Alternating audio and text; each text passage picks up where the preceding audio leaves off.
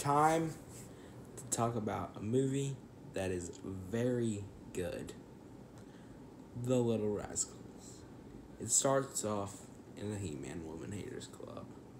Our main character is on a date with a girl, which is seen as a betrayal by the woman haters.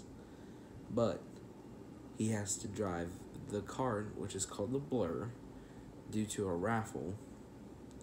They now have some kind are in some kind of trap because of Alfalfa's betrayal. The bullies in this movie steal the cart. They want to at least. And it creates a very interesting conflict. Then the side conflict um, is made into existence after Alfalfa is is has a date with his crush in the clubhouse where the woman haters are located. And after he's caught, he tries to bro- blow out the cam- candles on the candle- ca- candelabra. He misses one, and due to this, the clubhouse burns down because it's made of wood.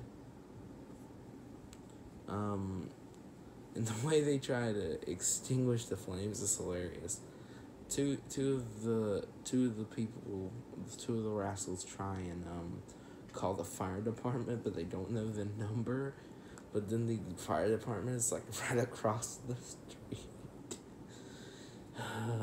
the clubhouse is destroyed, and they now have to raise money. At first, they try and steal it, but after they get caught, they go to well Spanky and um, Alfalfa go into a ballet concert and dress up as women, but the woman running the show get catches them because Alfalfa and Spanky had a freaking frog, and um, let me just say the um, the the, per- the lady running the show is kind of hot. Um, so the bullies do eventually steal the cart, and um, then Alfalfa is running away, and then he is in um, this rich kid Waldo's mansion, and um, he goes into this swimming pool that is a Olympic swimming pool, and he loses his undies because he was just in his undies after he undressed from being a woman, kind of.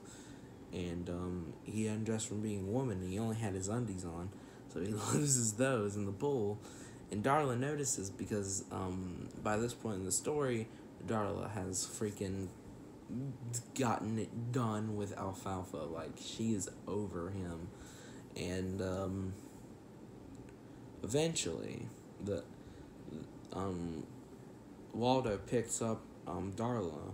And this like they they have a romance going on. So that's how um, Alfalfa is caught literally with his pants down.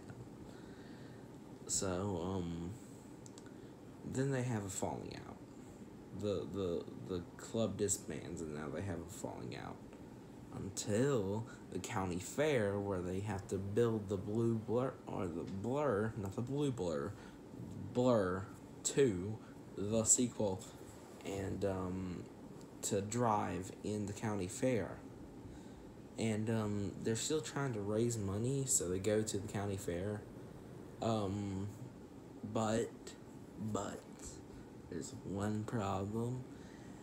They can't make any money, but um, two people, two kids, uh, part of the Rascals, um, charge fake admissions to this concert that Alfalfa participates in, and after Waldo's assassination of his singing, which is filled with bubbles,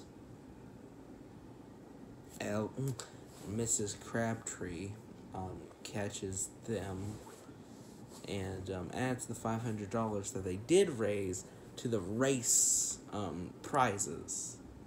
In the race, well, this is what you want to guys you guys want to know why the um the rascals are racing because um spanky wants to meet aj ferguson which spanky doesn't know but is a girl and aj ferguson in this movie is actually played by Reba McEntire, which is actually very cool.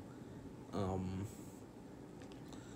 and um, in the race, um, it's implied that Darla gets um, left behind. Wait, before that, um, um, Waldo calls up his dad and says, Man, we're about to win this race. And Donald Trump, his dad in this movie, which is hilarious.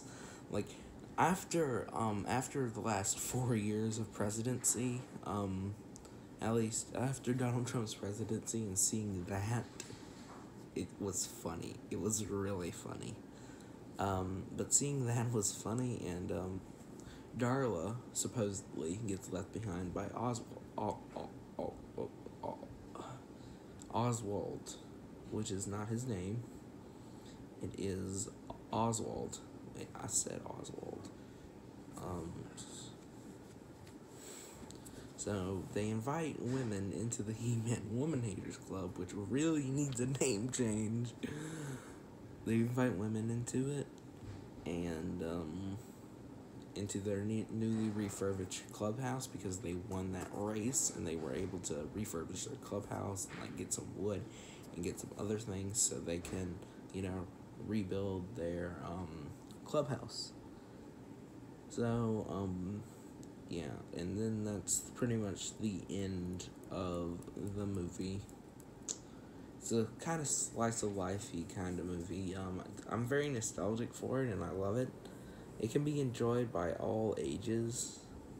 It's very funny, short and sweet, has a very good message about equality, and um, it, it also has a sequel. And its sequel is also pretty good. Give The Little Rascals a watch, and this movie's ranking is 8 out of 10. And also its sequel is 8 out of 10. I might make a video on it, I'm not sure yet, but its sequel is also an 8 out of 10, with the first one being ever so slightly better. Thanks for watching, I'll see you next time.